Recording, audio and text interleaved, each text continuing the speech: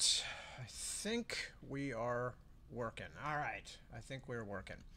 Um, so we're going to leave it at that. Um, I, hello everybody. Good morning, good afternoon, good evening to all of my darlings and hamburgers. Tad here. Um, dealing slightly with a small midwinter cold, nothing serious. Um, everybody else pretty well generally. Um, the normal craziness uh, surrounds as usual, but I'm not going to talk about that right at the moment. Um, what am I going to talk about? First off, I'm going to apologize to all of you lovely people who are uh, here for the 1 a.m. reading. Um, because you guys always seem to be the ones who have the stuff go wrong. And part of that's because I guess it's more likely to go wrong between Sunday evening and the next Sunday morning than it is between the two Sunday slots, if that makes any sense. Um, so, anyway, I am now doing this differently. I had to um, after last week's debacle. Um, and uh, seem to have got it straightened out, although it's odd because now I have to shift back and forth um, between my comments um, which I can only see a few at a time. I don't know why that is. I have no idea. Um, it's just Facebook's weird that way. I used to be able to see most of my comments at one time. Um, um, um, um, um, um, and so it, it's very hard to keep uh, an eye now on the comments. I click on the comments, the comments go away. When I click on the comments, I get a few comments. Um, it's giving me the option to insert an emoji, which is absolutely useless to me.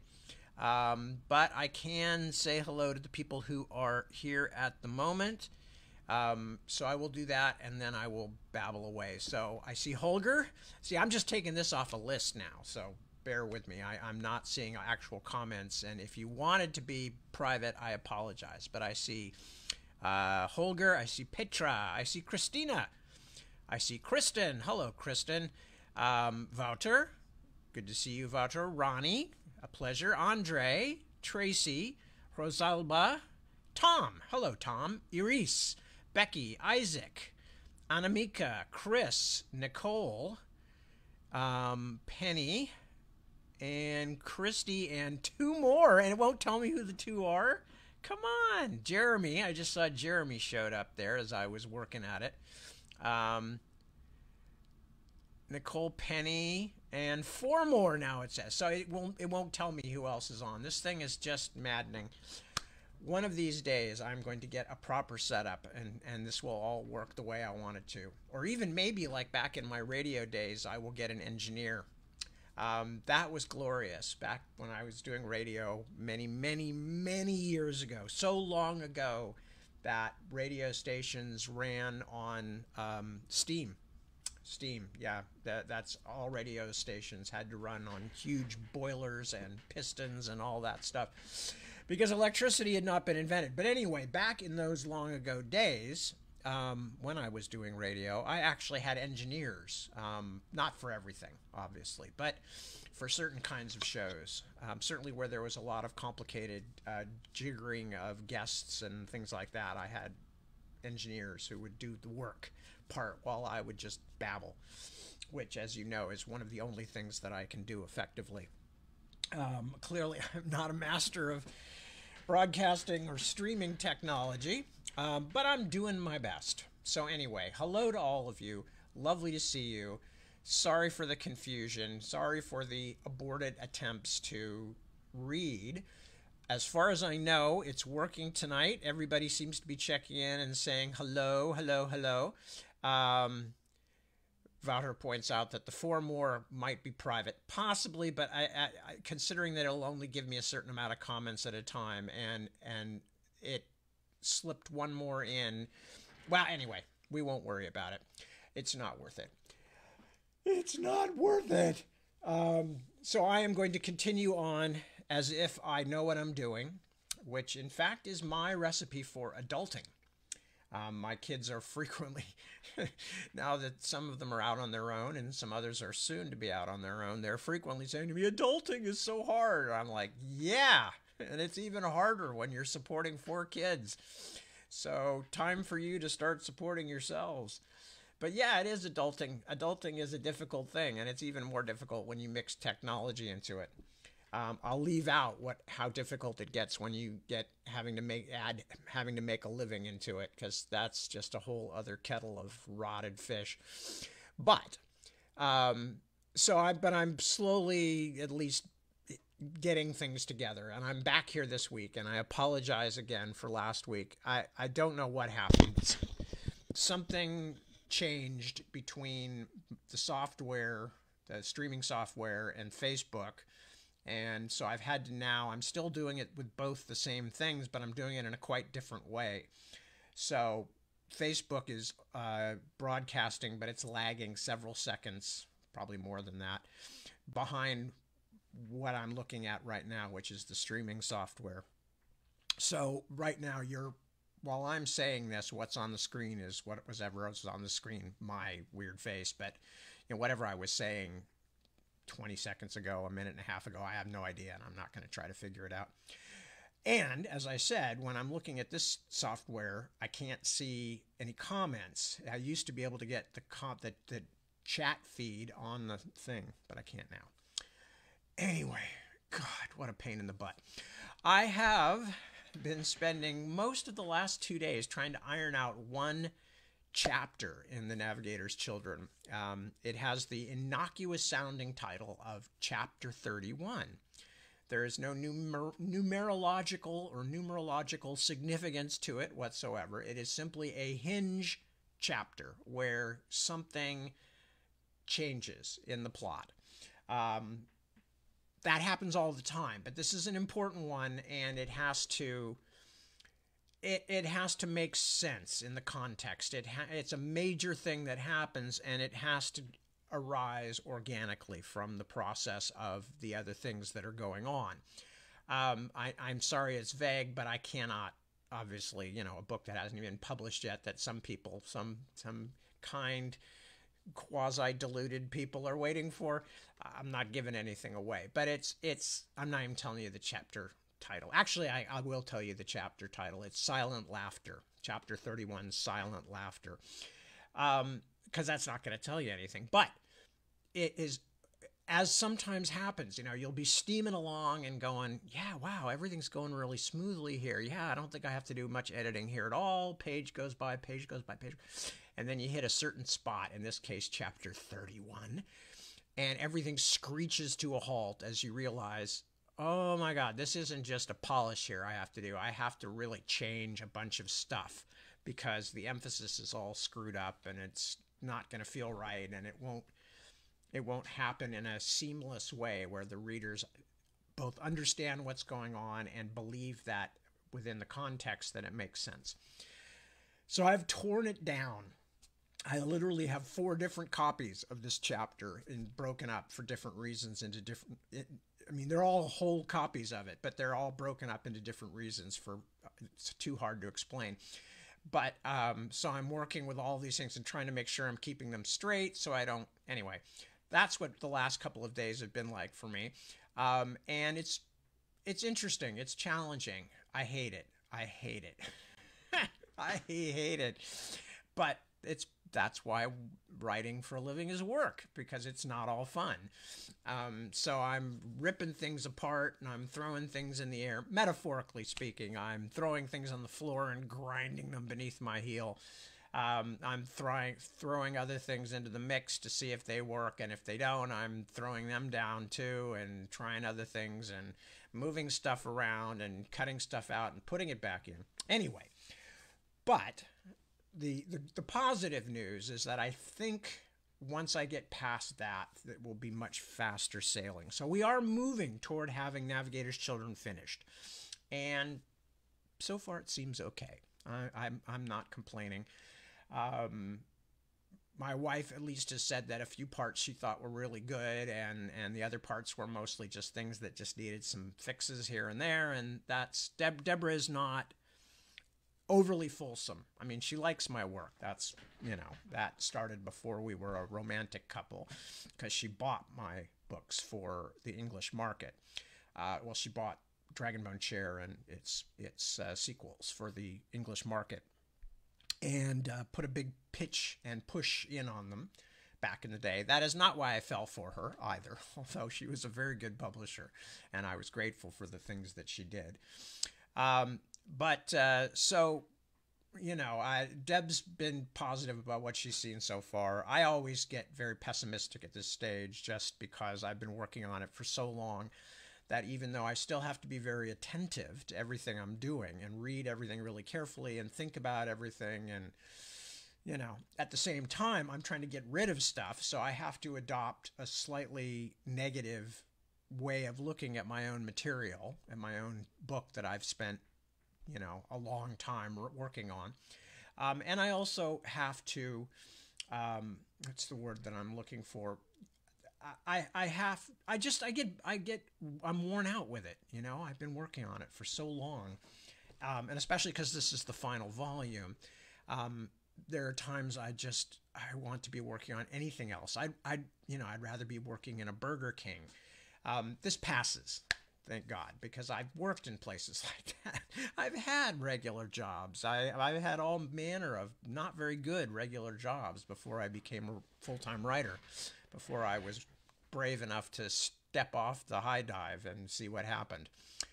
So, anyway, that's what's going on with Navigator's Children. I'm I'm stuck on one chapter, but I think I broke it today. I think I I crushed it and um, bent it to my will.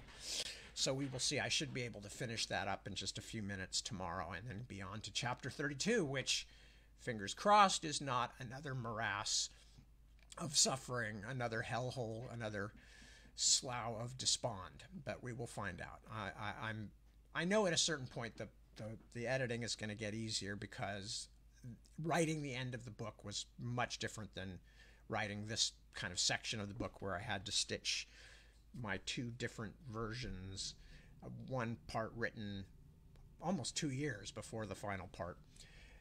You know, um, I'm very inarticulate tonight. As I explained, I'm dealing with a little bit of a cold. So, let me just quickly look to see if anybody else is here that I should say hello to. I can't tell. It's all from Holger. um, but it's up to 55 comments now, and it'll only show me a few of them. So if I've missed saying hello to any of the rest of you, I apologize. There's nothing I can do about it right now. I'm just I'm just struggling for sanity. That's all. Okay. Um, let's wait till see if I my face will come back into focus again. Every time I flick the screen away for some reason, it goes out of focus. Okay. I suggest you remove all children from the room and distract any pets because I'm going to lean in really close now. I know, it's frightening. It's frightening just seeing what years and years of writing fantasy and science fiction can do to a person. But I'm trying to get it to focus. Sometimes it will focus when you get close enough, and then if you pull the focus, but no, it's not doing it. Oh, God. Oh, well. It'll find me at some point. Okay, we were reading. I'm going to read because what the heck else can I do here? Um, is there any other news I need to tell you? No, we've had several days without rain here, and that's a big deal. Not that we don't need the rain, we do. We are thrilled, even as we drown. We are thrilled to be drowning in life giving water here in California. But uh, no, it's true. It's true. People often say that here as they drown. At least it's it's going to be good for the reservoirs. Glub glub glub. Um, so that's been good, but I, I will tell you a few days of no rain have not gone amiss, as any of the those of you out there who are in this part of California will attest. I think you will agree with me. Um, yes, we'll we will still take more. We'll ha- be happy to have some more, but it's especially when you have a a hydro not hydrophobic because that technically means rabid. When you have a rainphobic dog like i do it's nice to have a few days off when we can let him out to run around in the yard and take him out for walks and all that kind of stuff. Anyway so last time when we were reading, Simon and the rest of his crew, including Binabik and the other soldiers who came with him out of Naglimund, had essentially been saved by the Sithi from Ingen Jegger and a bunch of uh, of Kaldskryke's Rimmersmen. Um, and Ingen survived, but that, you know, we already heard about that. So Simon and Binabik and the rest have been taken in by the Sithi. And although the Sithi haven't been overtly unpleasant to them, they're definitely different and odd and a little frightening. Um, but the Sithi have just given them a meal, and after some hesitation, the mortals have begun to to eat and drink some of the Sithi liquor and started settling in. So um, I will drop back a paragraph or two and read from where I was reading at the end, and then uh, we will go and uh, continue from there. As the meal wore on, and a seemingly inexhaustible river of wine replenished the wooden goblets, the Rimmersmen and the two Erkenlandish guardsmen began to enjoy themselves. At one point, Sludig stood, tumbler sloshing in his hand, and proposed a hearty toast to his new Sithi friends. Jiriki smiled and nodded, but Khendraja'aro stiffened. When Sludig swung into an old northern drinking song, the prince's uncle slipped quietly off to the corner of the broad cavern to stare into the rippling, lamplit pond. The other Sithi at table laughed as Sludig sang the choruses in his braying voice and swayed to his tipsy rhythm, whispering occasionally among themselves. Sludig and Haestan and Grimmric seemed quite happy now, and even Binabik was grinning as he sucked on a pear rind. But Simon, remembering the enthralling music he had heard the Sithi play, felt a glow of shame for his companion, as though the Rimmersmen were a festival bear dancing for crumbs in Main Row. After watching for some while, he got up, wiping his hands on his shirt front. Binabik rose too, and after asking Jiriki's permission, went down the covered passageway to have a look after Qantaqa. The three soldiers were all laughing uproariously among themselves, telling, Simon had no doubt, drunken soldier jokes. He walked to one of the wall niches to examine the strange lamps. Abruptly, he was reminded of the glowing crystal Morgenes had given him. Could it have, could it have been Sithi work? and felt a cold, lonely tug at his heart. He lifted one of the lamps and saw a faint shadow of the bones in his hand, as though the flesh was only muddied water. Stare as he might, he could not fathom how the flame had been introduced to the inside of the translucent crystal. Sensing someone watching, he turned. Jiriki was staring, cat eyes agleam, on the far side of the fire circle. Simon started, surprised. The prince nodded. Haestan, the wine gone to his shaggy head, had challenged one of the Sithi, the one An'nai had named Kushapo, to wrist wrestle. Kushapo, yellow braided, dressed in black and gray, was receiving drunken advice from Grimmric. It was clear why the skinny guardsman thought his aid well directed, the Sitha was a head shorter than Haestan and looked to be barely more than half his weight. As the Sitha, with a bemused expression, leaned forward across the smooth stone to clasp Haestan's broad hand, Jiriki stood up and edged past them, making his graceful way across the chamber toward Simon. It was still difficult, Simon thought, to reconcile this confident, clever being with the maddened creature he had found in the Cotsman's wire. Still, when Jiriki turned his head a certain way or flexed his long jointed fingers, it was possible to see again the wildness that had frightened and fascinated. And whenever the firelight caught the prince's gold flecked amber eyes, they shone ancient as jewels from the black soil of the forest. Come, Seoman, the Sitha said. I will show you something. He slid his hand under the youth's elbow and steered him toward the pool where Khendraja'aro sat, trailing his fingers in the water. As they passed the fire, Simon saw that the wrist wrestling contest was at full heat. The opponents were locked in a struggle, neither with an advantage yet, but Haestan's bearded face was clenched in a lock toothed grin of strain. The slender Sitha, by contrast, showed little effect. Sorry, showed little effect from the standoff, except his gray clad arm quivering with the tension of their striving. Simon did not think this boded well for Haestan's chances. Sludig, watching the small frustrate the large, sat open mouthed. Jiriki fluttered, fluted. Jiriki fluted something to his uncle as they approached, but Khendraja'aro did not respond. His ageless face seemed closed, shut like a door. Simon followed the prince past him along the cavern wall. A moment later, before his astonished eyes, Jiriki disappeared.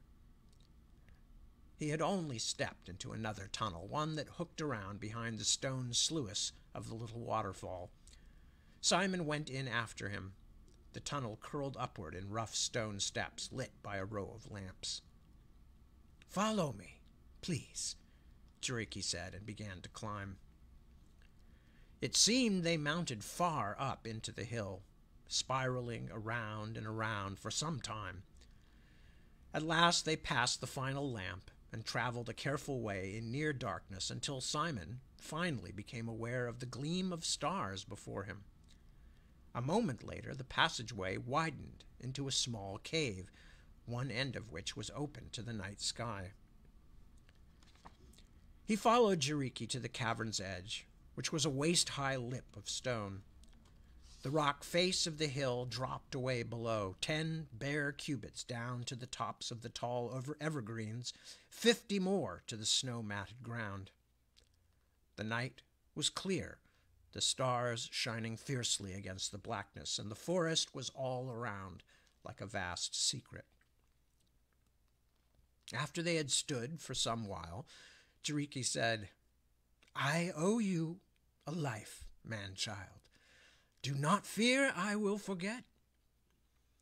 Simon said nothing, afraid to speak in case he should break the spell that allowed him to stand in the very midst of the forest night, a spy in God's dark garden. An owl called.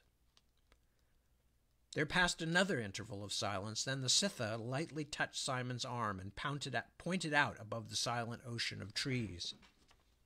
There, to the north, beneath Luyasa's staff, he indicated a line of three stars in the lowest part of the velvety sky. Can you see the outline of the mountains? Simon stared. He thought there might be a faint luminescence on the murky horizon, the barest hint of some great white shape so far away as to seem out of reach of the same moonlight that glowed on trees and snow beneath them. I think so? he said quietly. That is where you go. The peak men call Urmsheim is in that range, although you would need a clearer night to see it well. He sighed. Your friend Binabik tonight spoke of Lost Tumet'ai. Once it could be seen from here, away there in the east. He pointed into darkness from this very perch. But that was in my great grandfather's day. In daylight, the Seniantzin, the tower of the walking dawn, would catch the rising sun in its roofs of crystal and gold. They say it was like a beautiful torch burning on the morning horizon. He broke off, turning his eyes finally to Simon, the rest of his face obscured by night shadow. Tumet'ai is long buried, he said, and shrugged. Nothing lasts, not even the Sithi, not even time itself. How, how old are you? Jiriki smiled, teeth glinting in the moonlight. Older than you, Seoman. Let us go down now. You have seen and survived many things today, and no doubt you need sleep. When they got back to the firelit cavern, the three guardsmen were wrapped in their cloaks, snoring lustily. Binabik had returned and sat listening as several Sithi sang a slow, mournful song that droned like a beehive and ran like a river, and seemed to fill the cave like the thick scent of some rare dying flower. Curled in his own cloak, watching the firelight flicker on the stones above him, Simon was lulled to sleep by the strange music of Jiriki's tribe. Chapter 39 High King's Hand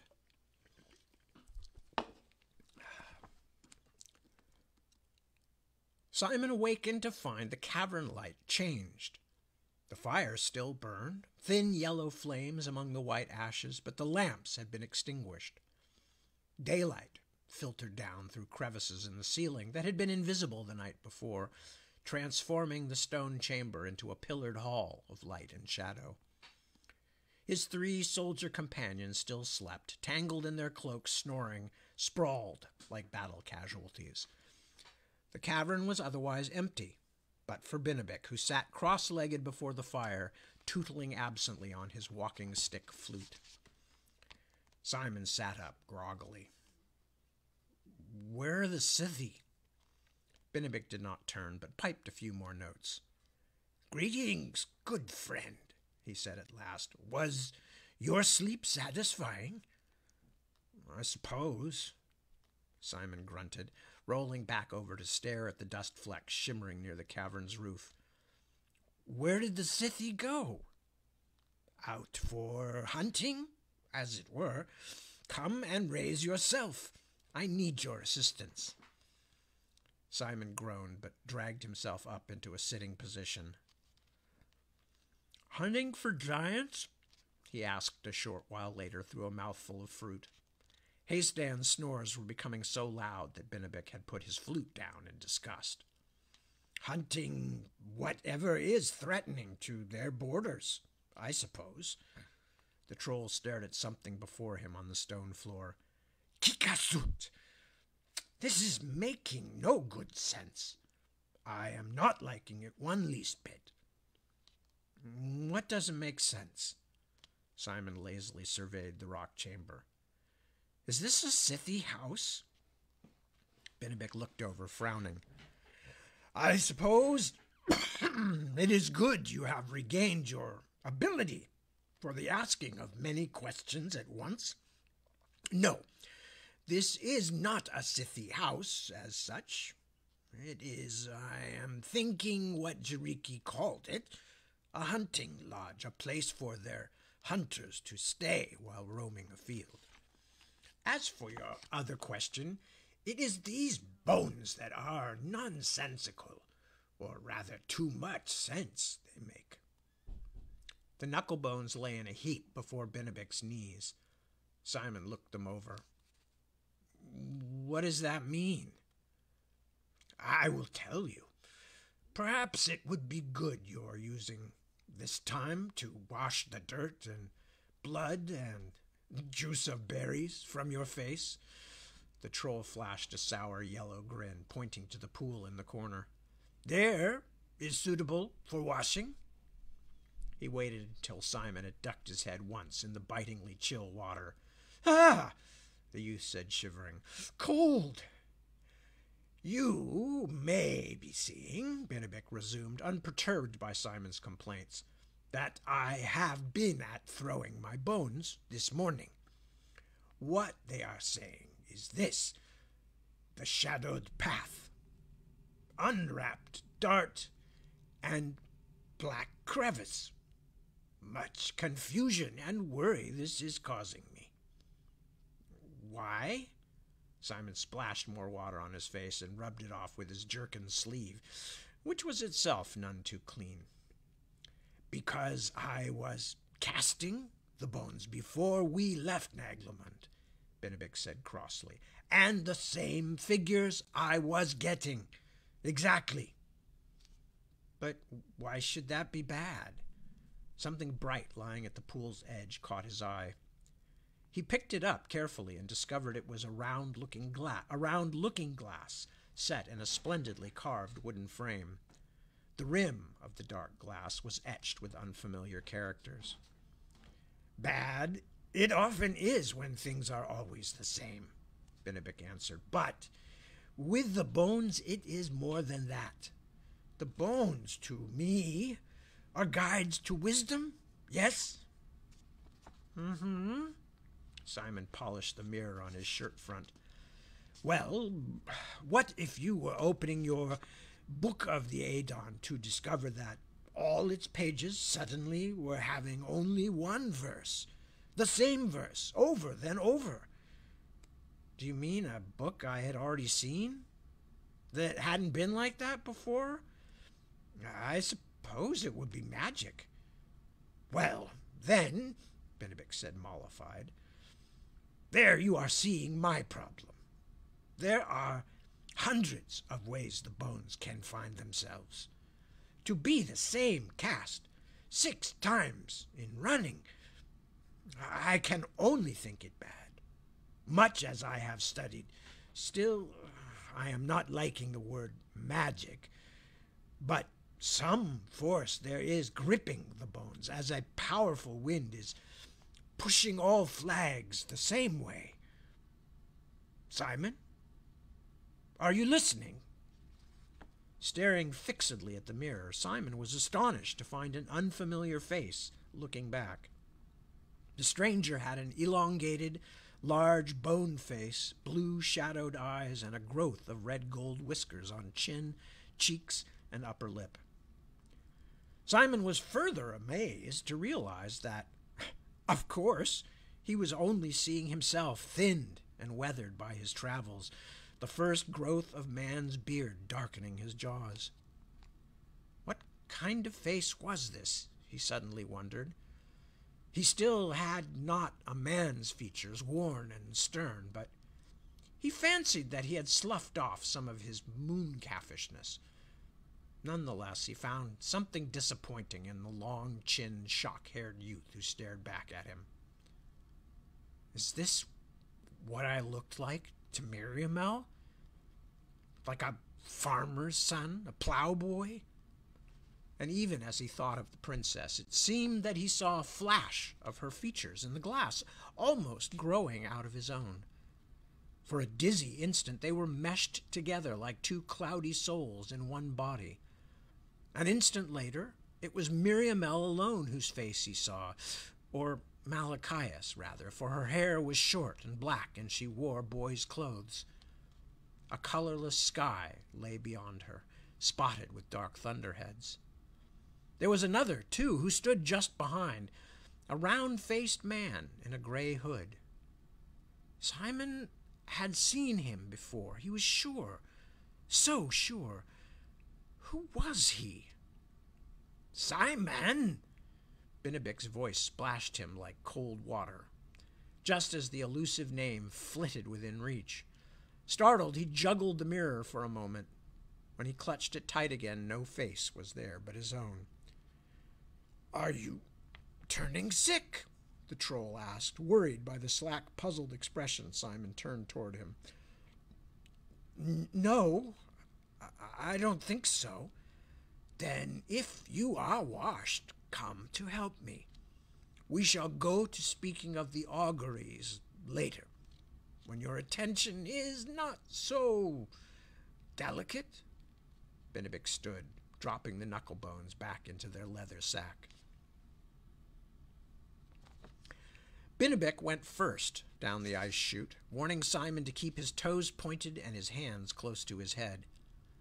The headlong seconds rushing down the tunnel were like a dream of falling from a high place, and when he thumped down into the soft snow beneath the tunnel mouth, bright, chill daylight in his eyes, he was content to sit for a moment and enjoy the feel of his heart's rapid beating.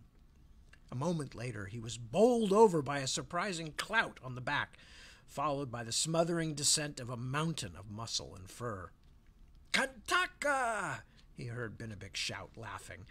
If it is your friends who are receiving such treatment, I am glad I am no enemy. Simon pushed the wolf away, gasping, only to face a renewed rough tongued assault on his face. At last, with Binabik's aid, he rolled free. Qantaqa sprang to her feet, whining excitedly, circled the youth and troll once, then sprang away into the snowy wood. Now, Binabik said, brushing snow from his black hair, we must be finding where the Sithi have been putting up our horses. Not far, Qanuc man. Simon jumped. He turned to see a line of Sithi file silently out of the trees, Jiriki's green jacketed uncle at its head. And why do you seek them? Binabik smiled. Certainly not for escaping you, good Khendraja'aro. Your hospitality is too lavish for us to hurry away from it. No, there are certain things only I wish to make sure we still have, things I was obtaining with some trouble at Naglimund, uh, that we will need on the roads ahead. Khendraja'aro looked down on the troll expressionlessly for a moment, then signaled to two of the other Sithi. Sijandi, Kiushapo, show them. The yellow haired pair walked a few steps along the hillside, away from the tunnel mouth, then stopped, waiting for Simon and the troll to follow. When Simon looked back, he saw Khendraja'aro still watching, an unreadable expression in his bright, narrowed eyes. They found the horses put up a few furlongs away in a small cavern hidden by a pair of snow laden pine trees. The cave was snug and dry. All six horses were contentedly chewing away at a pile of sweet smelling hay. Where did all this come from? Simon asked, surprised. We often bring our own horses, Kiushapo replied, speaking the western tongue carefully. Does it surprise you to find we have a stable for them? As Binabik rooted around in one of the saddlebags, Simon explored the cavern, noting the light spilling through a crevice high in the wall and a stone trough filled with clean water. Propped against the far side was a pile of helmets, axes, and swords. Simon recognized one of the blades as his own from the armory at Naglimund. These are ours, Binabik, he said. How did they get here? Kiushapo spoke slowly, as though to a child. We put them here after we took them from you and your companions. Here they are safe and dry. Simon looked at the Sitha suspiciously. But I thought that you couldn't touch iron, that it was poison to you. He stopped short, fearful that he had ventured onto forbidden ground. But Kiushapo Kiushapo only exchanged a glance with his silent companion before replying. So, you have heard tales of the days of black iron, he said. Yes, it was once thus, but those of us who survived those days have learned much. We know now what waters to drink and from which certain springs so that we can handle mortal iron for a little time without harm. Why did you think we allowed you to keep your coat of mail? But of course we have no liking for it and do not use it, or even touch it when there is no need. He looked over to Binabik, who was still rummaging intently in the traveling bags. We shall leave you to finish your search, the Sitha said. You will find nothing missing. At least nothing you had when you came into our hands. Binabik looked up. Of course, he said, I am only in worry over things that may have been lost during the fighting of yesterday. Of course, Kiushapo replied. He and the quiet Sijandi went out beneath the branches of the entrance.